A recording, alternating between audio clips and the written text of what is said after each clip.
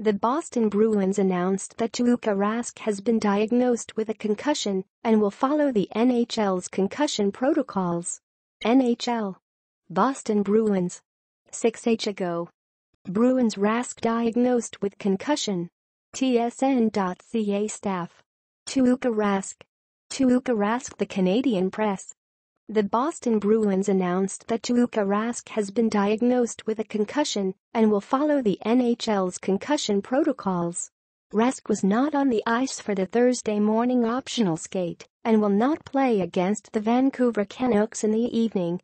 Anton Khudobin will get the start in Rask's place and Zane McIntyre will serve as his backup. Rask was helped off the ice Wednesday after teammate Anders Bjork collided with him and did not return.